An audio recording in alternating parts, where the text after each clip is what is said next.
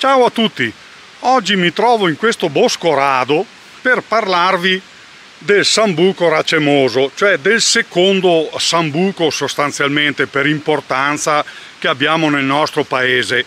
Se percorressimo una montagna idealmente così dal basso verso l'alto, ad un certo punto è difficile eh, fissare questo limite altimetrico, comunque diciamo dai intorno agli, agli 800-1000 metri il sambuco nero lascia spazio al sambuco rosso o sambuco racemoso. Proseguono l'introduzione di questo discorso dicendo che questo succede a molti altri generi. Per esempio il sorbo montano lascia spazio a quello degli uccellatori, o per esempio il ciliegio dolce lascia spazio nelle Alpi al ciliegio a grappoli e così via. Cioè è una cosa proprio tipica della, uh, delle fasce uh, vegetazionali uh, altimetriche. Il sambuco rosso, tornando a lui, diciamo, è un sambuco. È un sambuco, diciamo, no? Cioè sembra una battuta, ma lo è per quali ragioni? Perché eh, anche chi non lo conoscesse si accorgerebbe immediatamente della sua del suo stato di cespuglio, diciamo, così inizialmente assurgente, diciamo, e poi con un andamento prostrato, soprattutto quando i frutti iniziano a pesare, in un certo senso, sono molto simili all'altro sambuco, i rami, che sono uh, color marrone, diciamo, mentre gli altri sono grigiastri, le lenticelle longitudinali che caratterizzano i rami, se tagliassimo, io l'ho fatto e vi metterò una foto eh, in sovraimpressione, noteremo che l'interno, cioè il centro diciamo dei fusti, è anch'esso eh, eh, con midollo, anche se il midollo ha un altro colore come potrete osservare direttamente voi e così via. La foglia è anch'essa tipica e molto simile a quella dei, dei sambuchi in generale. Come vedete è una foglia composta eh, impari pennata, in questo caso 5, ma esiste anche la composizione 3 e la 7. Le foglioline sono in questo caso picciolate, in altri casi, soprattutto verso la cima, sono sessili e tipicamente col bordo diciamo eh, segmentato e la forma eh, diciamo lanceolata con apice eh, appuntito. Fin qui, fin qui diciamo le, le grandissime eh, analogie. Ora eh, possiamo cominciare diciamo, a riconoscere eh, anche le differenze a partire dall'infiorescenza. L'infiorescenza è tipicamente ad ombrello diciamo, nel sambuco nero. Qui non possiamo vederla, vi metterò delle foto, ma nel sambuco racemoso ha una forma inizialmente globosa, cioè come un grumo diciamo, no? Che nei libri, così nelle pubblicazioni c'è scritto che, che, è di colore rosa, in realtà è grigio rosastro così, no? E poi si trasforma in un racemo fiorale, in una, in una infiorescenza praticamente quasi conica, diciamo. Questa è una differenza abbastanza sostanziale eh, che lo distingue dagli altri sambuchi. Se ci avviciniamo e osserviamo ogni fiorellino, vediamo eh, tipicamente che è costituito da cinque petali che crescono praticamente fusi insieme, sono ovato arrotondati e rivolti all'indietro, poco appariscenti, poco vistosi.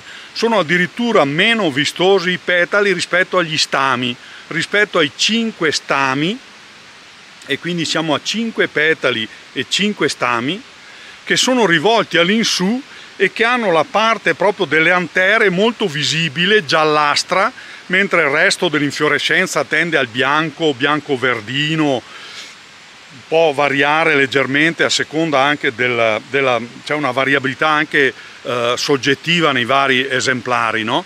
E, e, um, e poi diciamo non possiamo trascurare ovviamente la parte femminile, o meglio il gineceo, che è molto ma molto eh, piccolo e molto, visto, eh, molto, poco vistoso, cioè molto poco appariscente, ma che è fatto di tre stili che sono fusi insieme, concresciuti e con la punta arrotondata che diverge però in cima. No? Questi tre stili naturalmente daranno luogo al frutto. Il frutto, come vedete, è una specie di bacca, bacca scusatemi, che eh, mh, eh, tecnicamente sarebbe una drupa, come una specie di, di, susina, diciamo, che ha dentro però non un solo seme, ma a volte sono due o tre. Eh, c'è chi afferma di trovare quattro semi, io ne trovo sempre pochissimi, sembrano semi di sesamo.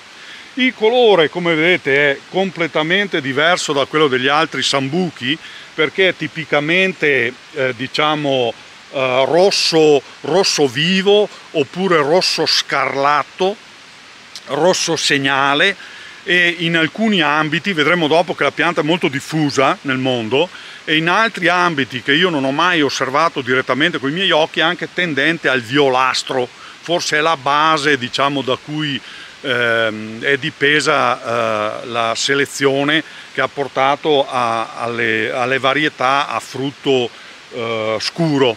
Dunque bisogna ricordare che i frutti eh, per, per colpa dei semi che sono tossici sono eh, non commestibili così eh, liberamente, diciamo. sarebbero tecnicamente commestibili se noi eh, sputassimo i semi, ma eh, per noi umani diciamo, la consumazione così come frutto di bosco eh, non è am ammissibile e non lo è nemmeno per molti animali, gatti e cani compresi. Anche la volpe, che è un canide, tipicamente non si, non si, ferma su queste bacche, ne mangia molte altre, ma non consuma queste bacche per via della loro velenosità per questi mammiferi. Mentre a dire la verità per gli uccelli è tipicamente e, e, e commestibile per tutte le specie di uccelli che sono i responsabili della dispersione dei semi e della, uh, e della propagazione della specie a mezzo proprio del loro intestino.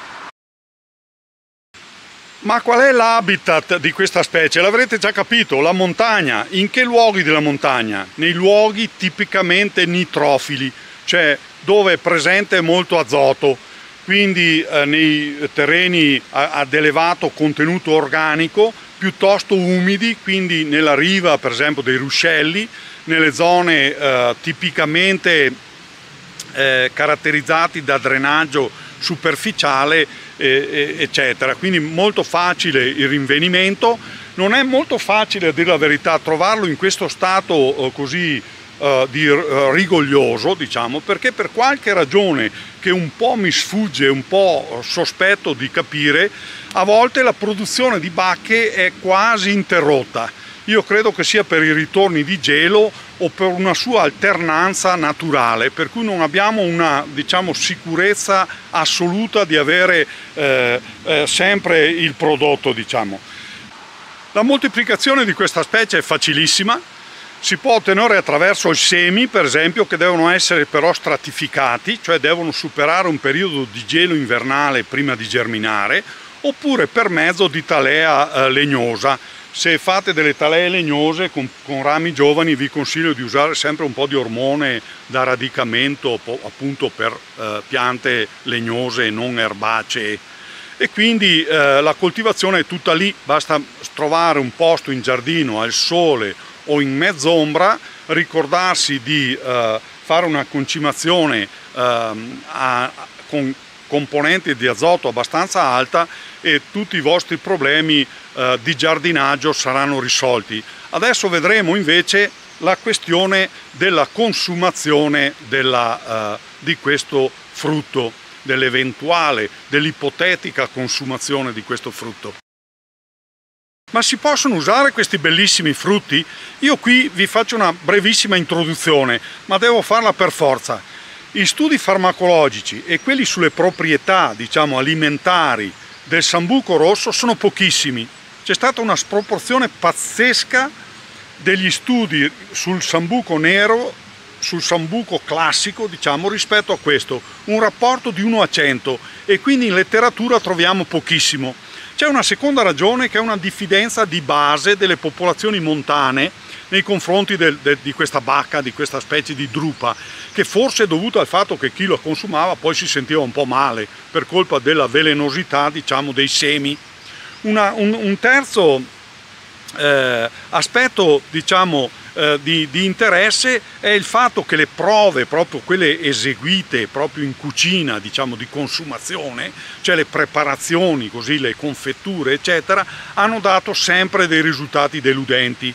Quindi da noi in Occidente si fa pochissimo utilizzo di, questa, uh, di questo frutto, no? ma uh, non bisogna però tacere su una questione che riguarda il Nord America e che riguarda le popolazioni indiane, cioè le popolazioni native del Nord America che hanno fatto un uso sistematico plurisecolare di questo frutto che era un ingrediente fondamentale nella dieta dopo però numerosi trattamenti che riguardavano per esempio l'essiccazione oppure la cottura oppure l'immersione in acqua corrente finché le componenti tossiche diciamo, si allontanavano, naturalmente l'eliminazione dei semi eccetera, mescolamento a volte con altri frutti per rendere il tutto più gradevole. Quindi chi avrà ragione? La nostra visione occidentale tutta concentrata diciamo, sul sambuco nero o quella ehm, eh, nordamericana eh, delle tradizioni dei popoli nativi?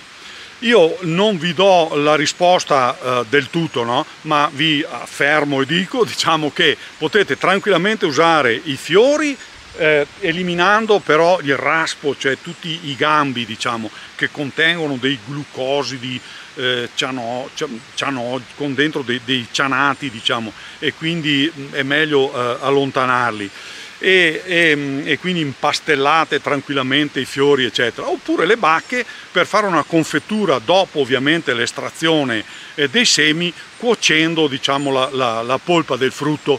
È nota anche la, la produzione di grappa cioè di acquaviti eh, di questi frutti che sono eh, delle acquaviti speciali eh, pregiate costose con delle componenti aromatiche, in qualche pubblicazione c'è scritto delicate, ma in altre invece con delle componenti particolari eh, dell'aroma che riguardano anche alcuni vini, ma che io non approfondisco non essendo esperto. L'eleganza assoluta di questa specie, la sua bellezza aristocratica che si discosta da quella, eh, diciamo, campagnola del sambuco nero, ha fatto sì che i selezionatori di varietà per il giardinaggio se ne accorgessero immediatamente e immediatamente iniziassero ad individuare dei tipi che si differenziavano diciamo, da questo per altri, eh, per, altre, per altri, aspetti, tipo quello delle foglie che troviamo nelle giardinerie a, a forma lobata o addirittura lancignata, oppure con colorazione dorata oppure più scura, e, e che si differenziano anche per la fruttificazione, magari più abbondante, magari i frutti eh, si possono trovare addirittura melanocarpici, cioè neri, oppure leucocarpici, cioè chiari, quasi bianchi sostanzialmente, e quindi avrete spazio, se avete un giardino in alta montagna o nel nord Europa o una dacia in Russia, diciamo, per tenerlo e per mantenerlo. Resiste a meno 20, è estremamente rustico diciamo ed estremamente elegante eh, l'utilizzo, sull'utilizzo dei frutti abbiamo già detto e quindi diciamo solo due parole nella sua diffusione che è tipicamente euroasiatica ma asiatica occidentale. È presente nella, molto nella fascia nord dell'Europa non però nella penisola scandinava in Irlanda e in Inghilterra dove è stato introdotto artificialmente. Sulla sua presenza nel Nord America e quindi eh, nella parte nord degli Stati Uniti, nel Canada e nell'Alaska abbiamo già detto. Quindi arrivederci a presto con un'altra specie. Sarà un sambuco? Mi viene in mente adesso che ci resta ancora l'ebbio, quello velenoso sul serio. Ciao!